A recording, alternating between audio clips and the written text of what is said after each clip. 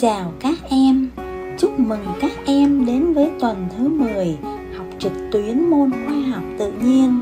Tuần này cô cùng các em sẽ học bài ôn tập chủ đề 8 Đa dạng thế giới sống. Cô xin tự giới thiệu, cô tên là Nguyễn Thị Hoàng Phương, công tác tại trường Trung học cơ sở Phan Bội Châu.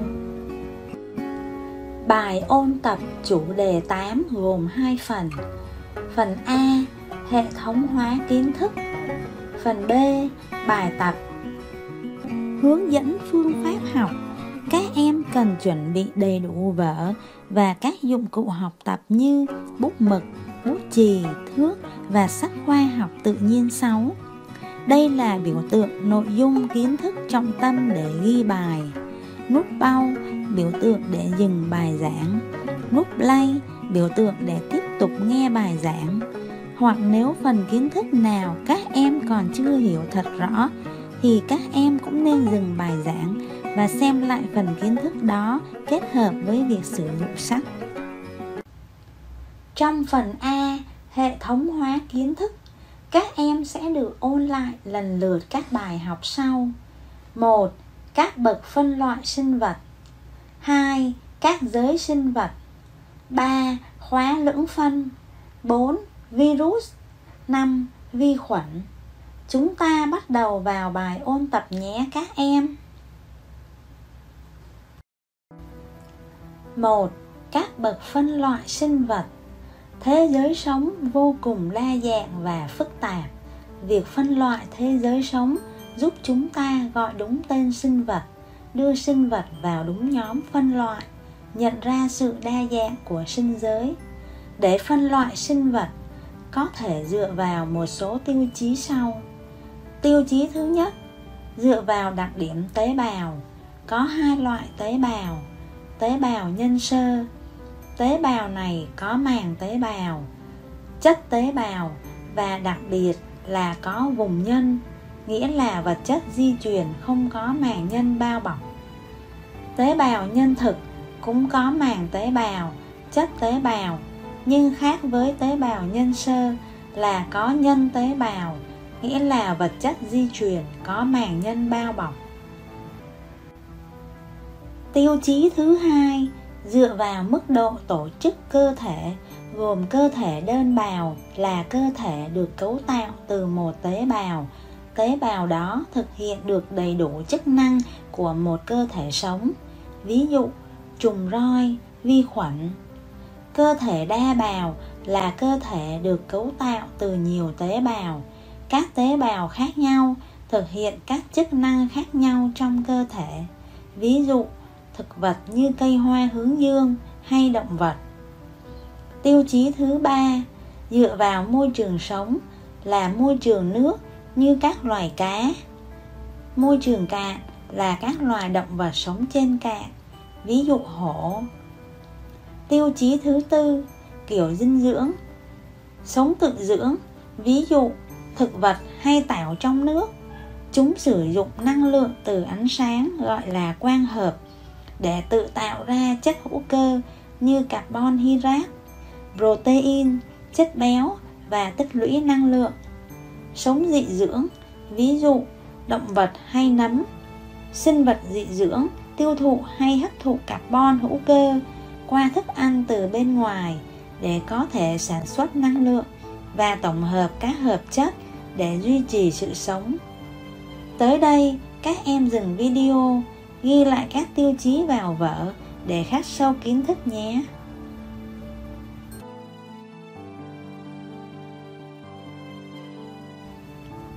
Từ các tiêu chí trên, người ta đã phân loại các sinh vật trong thế giới sống thành các bậc phân loại, từ nhỏ đến lớn, được sắp xếp theo trật tự.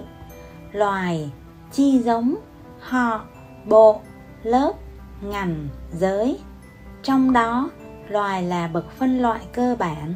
Loài là một nhóm các cá thể sinh vật có những đặc điểm sinh học tương đối giống nhau và có khả năng giao phối với nhau để sinh ra thế hệ tương lai để hiểu rõ hơn về các bậc phân loại các em hãy nhìn vào hình ảnh minh họa ta có loài gấu đen châu Mỹ thuộc giống gấu, trong đó có gấu trắng Bắc Cực và gấu nâu châu Á. Bậc cao hơn là họ gấu. Gấu đen châu Mỹ thuộc họ gấu, mở rộng loài ra có thêm gấu trúc Trung Quốc. Gấu đen châu Mỹ thuộc bộ ăn thịt. Bậc cao hơn nữa, bộ gấu thuộc lớp động vật có vú, còn gọi là lớp thú. Bậc cao kế tiếp, gấu đen châu Mỹ là ngành có xương sống. Bậc cao nhất, gấu đen châu Mỹ thuộc giới động vật. Qua phân tích, các em đã nắm rõ bài học và biết cách sắp xếp các bậc phân loại thế giới sống theo thứ tự từ nhỏ đến lớn chưa nào? Cô mời các em dừng màn hình và ghi vào vở cách sắp xếp các bậc phân loại thế giới sống theo thứ tự từ nhỏ đến lớn ở hàng ngang nhé.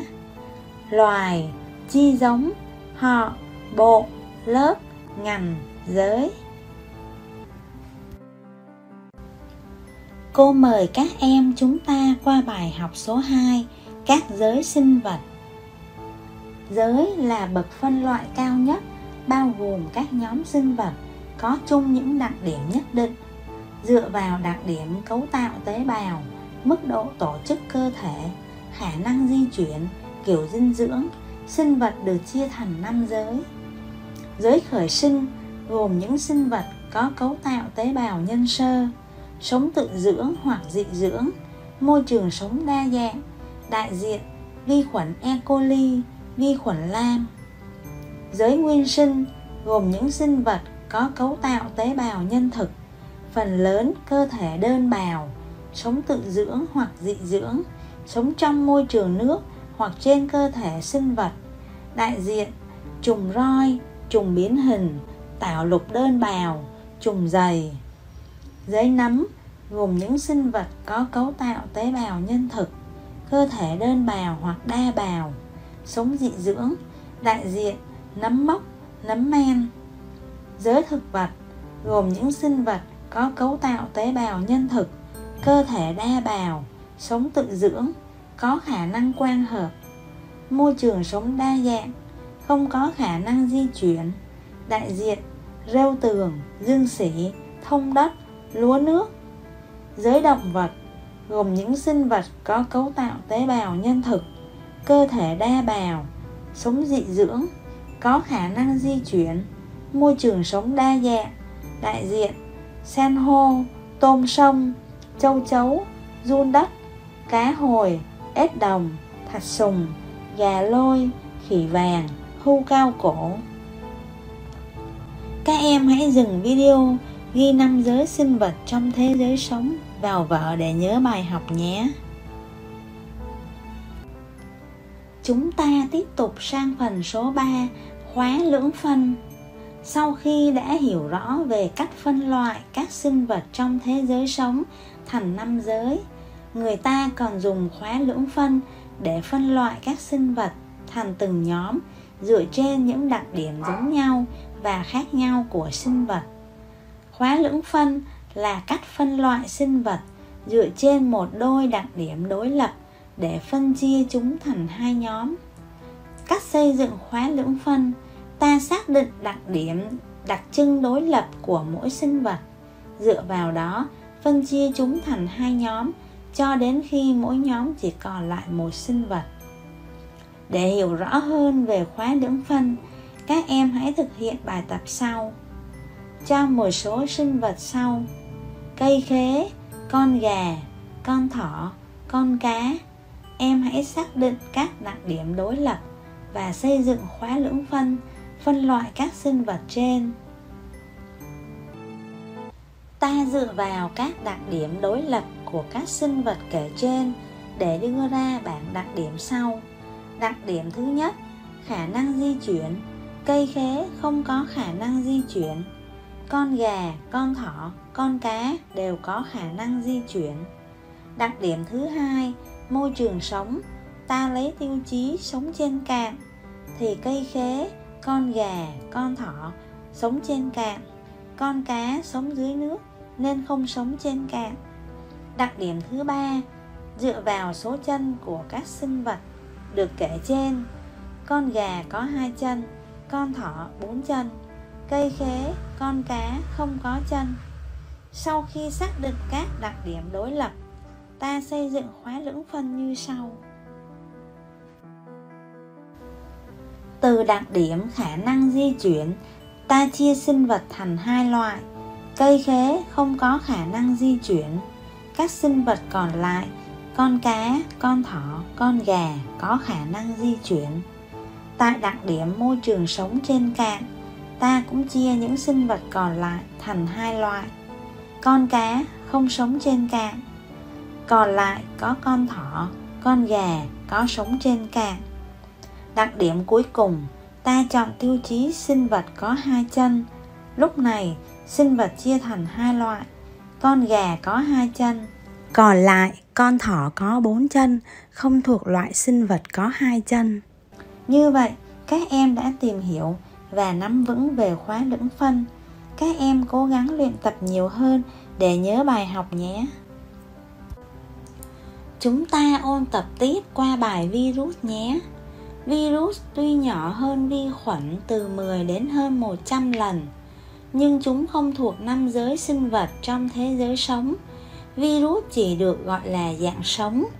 Khi chúng sống ký sinh nội bào bắt buộc, khi ra khỏi tế bào vật chủ, virus tồn tại như một vật không sống.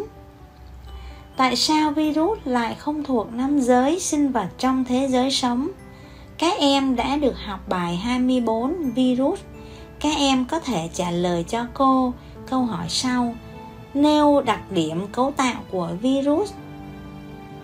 Virus có đặc điểm chưa có cấu tạo tế bào, chỉ gồm lớp vỏ protein và vật chất di truyền. Hình dạng dạng xoắn, virus khảm thuốc lá. Virus dại dạng hình khối, virus cúm virus viêm kết mạc virus bại liệt dạng hỗn hợp thực khuẩn thể vai trò của virus virus có vai trò trong nghiên cứu khoa học và trong thực tiễn như sản xuất các chế phẩm sinh học như interferon, thuốc kháng sinh, vaccine. Trong nông nghiệp, virus được sử dụng trong sản xuất thuốc trừ sâu. Bên cạnh đó, virus là nguyên nhân gây ra nhiều bệnh cho người, động vật và thực vật. Như người bị bệnh cúm có biểu hiện sốt, đau đầu, đau họng, sổ mũi. Người bị bệnh sốt xuất huyết có biểu hiện đau đầu, sốt cao, phát ban, chảy máu cam, nôn. Bệnh dại ở động vật, bệnh khảm trên cây thuốc lá, bệnh do virus gây ra có thể lây truyền theo nhiều con đường khác nhau từ mẹ sang con tiếp xúc trực tiếp truyền máu, tiêu hóa, hô hấp, vết cắn động vật. Để phòng chống bệnh do virus gây ra, chúng ta phải ngăn chặn các con đường lây truyền bệnh, tiêm vaccine phòng bệnh, vân vân. Các em dừng màn hình, ghi lại các đặc điểm, hình dạng, vai trò của virus vào vở để nhớ bài học cho cô nhé. Chúng ta đã tới phần 5 vi khuẩn rồi. Cố gắng lên các em nhé. Các em hãy mở sách giáo khoa bài 25 vi khuẩn Và ôn lại bài cũ cho cô đi nào. Các em hãy cho cô biết đặc điểm, hình dạng và vai trò của vi khuẩn. Vi khuẩn có đặc điểm cấu tạo tế bào nhân sơ gồm các thành phần, thành tế bào, màng tế bào, chất tế bào và vùng nhân một số vi khuẩn có thể có lông bơi hoặc roi bơi để di chuyển. Hình dạng, đa số có dạng hình que như trực khuẩn lị gây bệnh kết lị, trực khuẩn đường ruột gây bệnh tiêu chảy. Hình cầu, tụ cầu khuẩn gây nhiễm khuẩn trên da. Liên cầu khuẩn gây nhiễm khuẩn đường hô hấp. Hình xoắn, có xoắn khuẩn gây bệnh vàng da. Hình dấu phẩy có phải khuẩn tả gây bệnh tả? Vai trò của vi khuẩn. Trong tự nhiên, vi khuẩn tham gia vào quá trình phân hủy xác sinh vật và chất thải hữu cơ làm sạch môi trường. Trong thực tiễn, vi khuẩn có vai trò trong chế biến thực phẩm. Một số vi khuẩn gây bệnh cho người, động vật, thực vật. Một số vi khuẩn làm hư hỏng thực phẩm làm thức ăn bị ôi thiêu.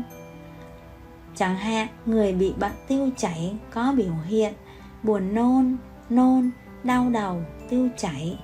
Người bị bệnh lao phổi có biểu hiện ho ra máu, sốt, tức ngực, mệt mỏi.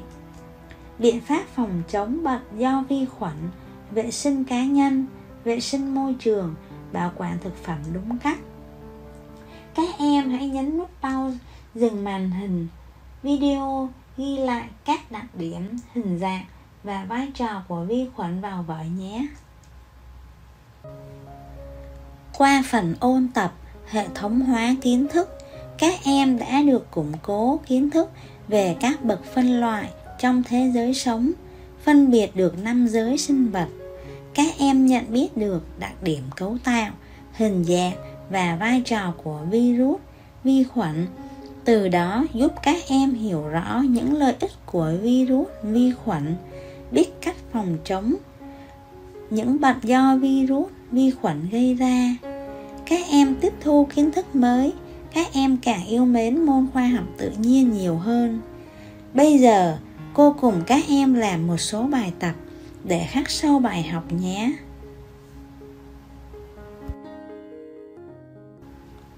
Bài 1 các bậc phân loại sinh vật từ thấp đến cao theo trình tự nào sau đây? A. Loài chi giống, bộ, họ, lớp, ngành, giới. B. Chi giống, loài, họ, bộ, lớp, ngành, giới. C. Giới, ngành, lớp, bộ, họ, chi giống, loài. D. Loài chi giống, họ, bộ, lớp, ngành, giới các em hãy nhấn nút pause, dừng lại và tự chọn kết quả cho mình đi nào. Loài là bậc phân loại thấp nhất, rồi đến chi giống, tiếp đến là họ, rồi đến bộ. Bậc cao hơn nữa là lớp, đến ngành. Giới là bậc phân loại cao nhất. Vậy các em chọn câu d. Cô chúc mừng các em đã chọn đúng.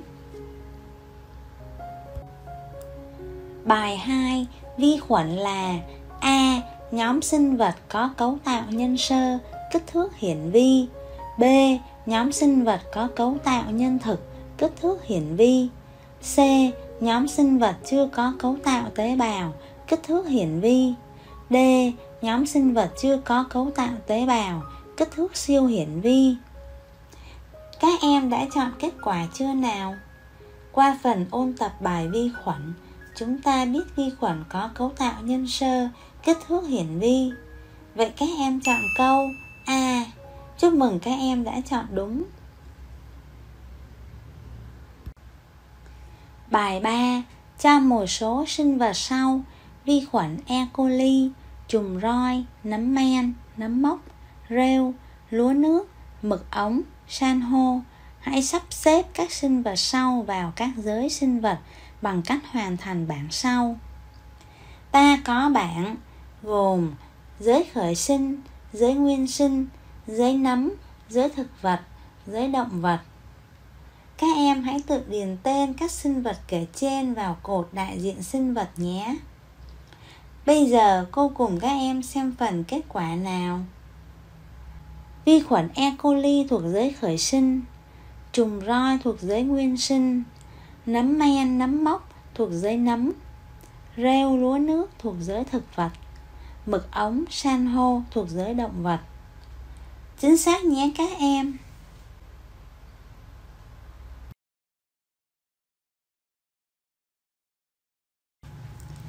Bài 4. Quan sát hình sau và cho biết biểu hiện có thể xuất hiện ở người bị nhiễm virus corona và biện pháp phòng chống. Các em hãy dừng video, quan sát hình ảnh và ghi vào vở những triệu chứng có thể xuất hiện ở người bị nhiễm virus corona tương ứng từ ô số 1 đến ô số 4 nhé và nêu biện pháp phòng chống. Người bị nhiễm virus corona có thể xuất hiện các triệu chứng như sau. 1. Nhức đầu, mệt mỏi. 2. Hắt hơi, khó thở. 3. Sốt hoặc ớn lạnh. 4. Ho, sổ mũi. Biện pháp phòng chống có khi người bị nhiễm virus corona không có các biểu hiện trên nên chúng ta phải thực hiện các biện pháp phòng chống cẩn thận như đeo khẩu trang rửa tay thường xuyên với xà phòng dưới vòi nước tránh tiếp xúc với nguồn gây bệnh bài tập về nhà bài 1 bác sĩ luôn khuyên chúng ta ăn chín, uống sôi. Để phòng tránh bệnh do vi khuẩn gây nên, em hãy giải thích vì sao bác sĩ đưa ra lời khuyên như vậy. Vi khuẩn thường phân bố với số lượng lớn ở các loại môi trường như đất, nước, không khí, cơ thể sinh vật, đồ dùng, thức ăn ôi thiêu. Tuy nhiên, phần lớn vi khuẩn bị tiêu diệt ở nhiệt độ cao. Vì vậy, cần nấu chín thức ăn, nước uống trước khi sử dụng để phòng tránh các bệnh do vi khuẩn gây ra. Bài 2. Em hãy kể tên một số bệnh do virus gây ra có thể phòng tránh bằng các tiêm phòng vaccine. Đó là các bệnh dại, bệnh sởi, bệnh quai bị, bệnh cúm, vân vân. Trước khi kết thúc bài học, các em hãy ghi thêm những lời dặn dò của cô. 1. Hoàn thành bài tập về nhà. 2 ôn lại và học thuộc bài học. 3. Xem trước bài 3 Quy định an toàn trong phòng thực hành, Giới thiệu một số dụng cụ đo, Sử dụng kính lúp và kính hiển vi quang học. Cảm ơn các em đã lắng nghe. Kết thúc bài học. Chúc các em học tốt.